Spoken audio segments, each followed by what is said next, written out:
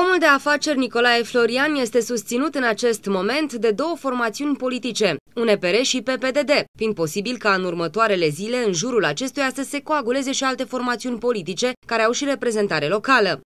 Am vrut să vă aduc la cunoștință faptul că această candidatură a mea este sprijinită și de Uniunea Națională pentru Progresul României, UNPR,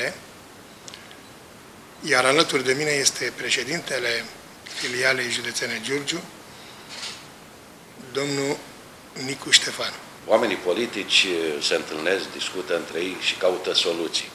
Soluții pentru ce? Exact pentru ceea ce discutasem noi la alte conferințe de presă.